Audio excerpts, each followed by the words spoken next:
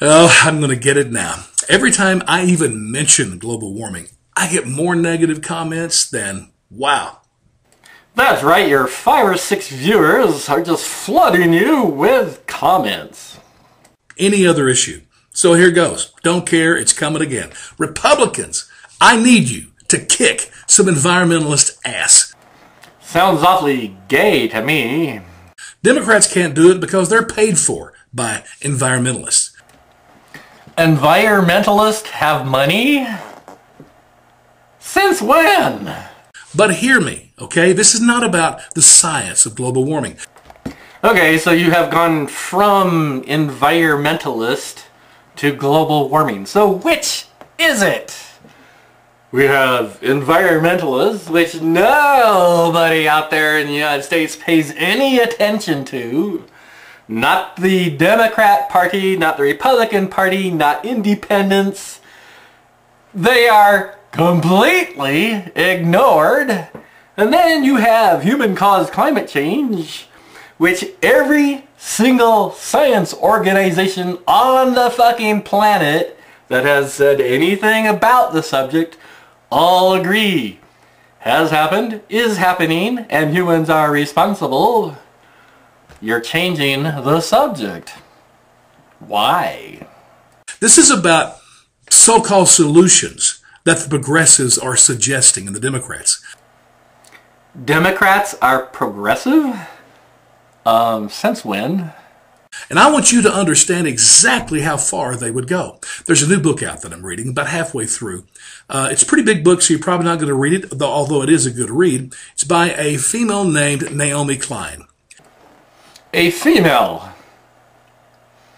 Presumably a human female, not a woman, not a investigative journalist, a female could be a mayor for all we know. She's written a book. The title of it is This Changes Everything Capitalism versus the Climate. She blames global warming entirely on free market capitalism. And so does, incidentally, coincidentally, all of the world's experts on the subject. Tens of thousands of scientists do that also. I wonder if they're all mares. Maybe they're all females. So the solution is, and we just got to face up to it, you got to destroy capitalism. Uh, no. If you actually would read the book and just, instead of saying that you're reading it, you'll find out. Capitalism is what has caused and is causing the terrible problem human-caused climate change, which is already costing humanity almost one trillion dollars in production of human-produced wealth. Almost a trillion dollars. And two, she says the solution is capitalism. She did not say we have to destroy capitalism. She said we have to change capitalism and make capitalism the solution to the problem it has caused. This is right up front in the beginning of the book, all throughout the book. Change how capitalism prioritizes itself use the free market to solve the problem that it created, not destroy capitalism. You know what would happen if we destroyed capitalism? Things would get a bloody hell of a lot worse. A fact she pointed out in her book. Now let me tell you something. It's one thing to just come in and steal my life. Huh? Yeah, um, if somebody does that, call the fucking cops, huh? Over bogus solution ideas. It's entirely another thing to change and to disrupt an entire economy in a country great like America. First off, nobody out there is wanting to destroy the economy of America. Nobody has suggested that. Nobody wants to do that. Second off, America is not great. You look at other similar countries and their standard of living and their economies and their levels of violence and their equality and their happiness. America is real close to the bottom of the list. America great? No, you need to get out more. It's, it's just terrible. And it's time for somebody, and Republicans, it should be you, to stand up and say, no more. You need to start with the EPA. I mean, the hypocrisy of this, like even Obama and what he did with the coal industry. I mean, he just, man, sucker punched it. But huh? Obama not only has increased the subsidies for digging up coal, he said we need to dig up more of it. That's a sucker punch? You know why the sale of coal has decreased uh, slightly in the United States? Fracking. Not Obama. He didn't do that.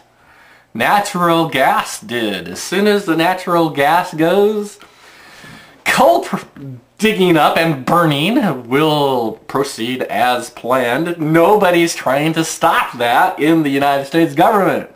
If anything, Obama loves burning coal. Which is probably why he will be shoveling coal in hell for eternity. Yet, still allows them to sell coal overseas. Yes, because Obama is pro-coal. You know why it is coal being sold overseas, not natural gas? Try shoveling natural gas. Then try shoveling coal. See how, which one is a hell of a lot easier. So he kind of killed him here. What is that? Either coal is bad or it's not. Uh, coal is bad. The problem is the United States government doesn't give a shit. That is the problem. Ms. Klein's solution is to use the free market to phase out coal, turn to alternative energy sources, which will be a massive boon to the economy, which by the way it already is, and already has been, and will be. Use the free market. Everybody makes a bloody hell of a lot of money using capitalism to solve the problem. How about reading the fucking book? Quote. There are ways of preventing this grim future, or at least making it a lot less dire.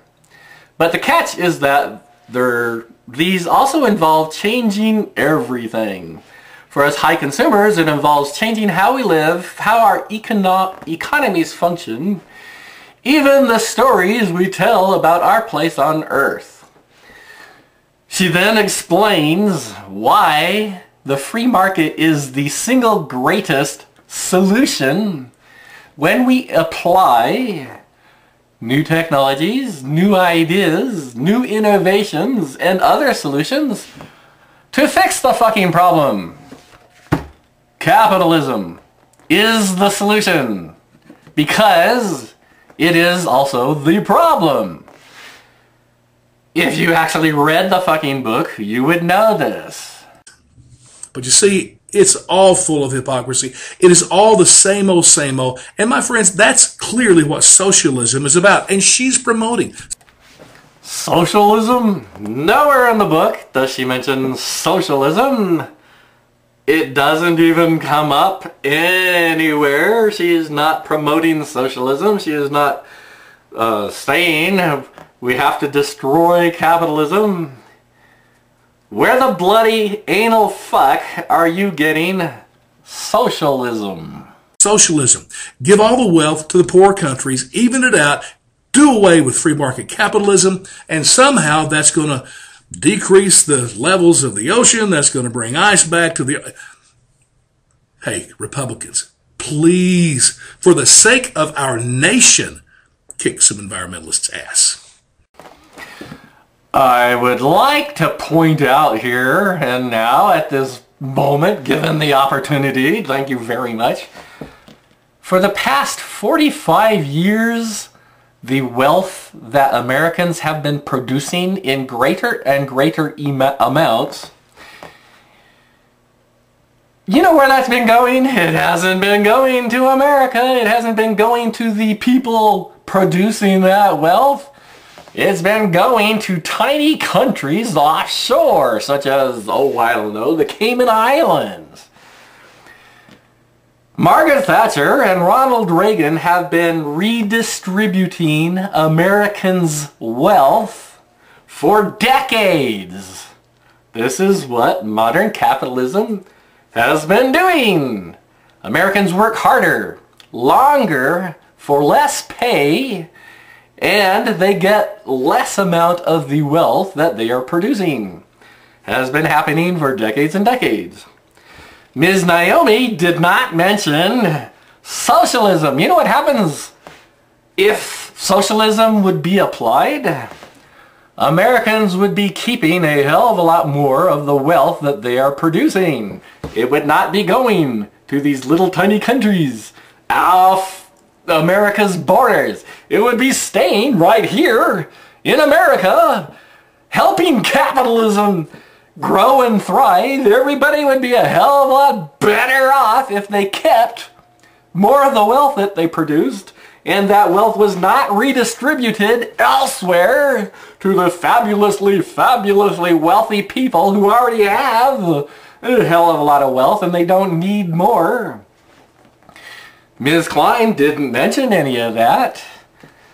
If you're worried about wealth being redistributed away from Americans out of your personal pocket, you would not be asking the United States Republican Party to stop doing that because they're the ones doing it. And oddly enough, so are the Democrat Party. So are many of the independents. Seriously, you are so fucking ignorant about what is happening and who is doing it.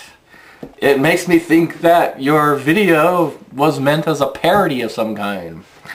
Anyhow, read the fucking book. Solutions are there.